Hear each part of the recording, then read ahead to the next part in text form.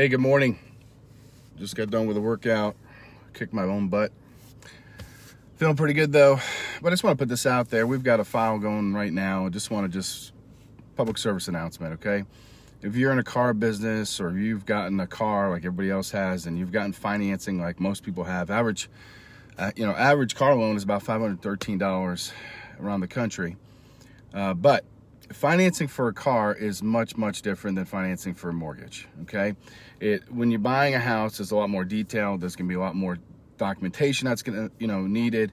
It's not just about your credit score it's not just about one score and and so forth. It's about three scores it's about full documentation. It's about if there's a large deposit we need to see where it's coming from.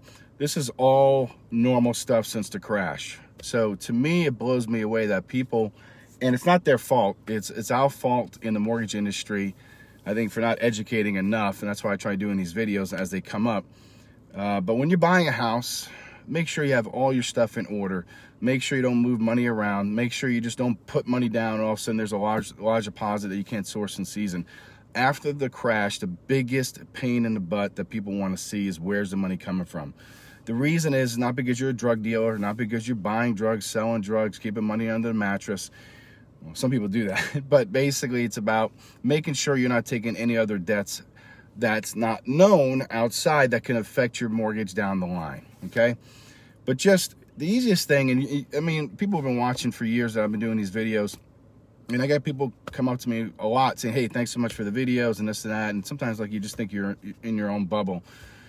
But the biggest thing is, you know, just listen the first time and get us what we need.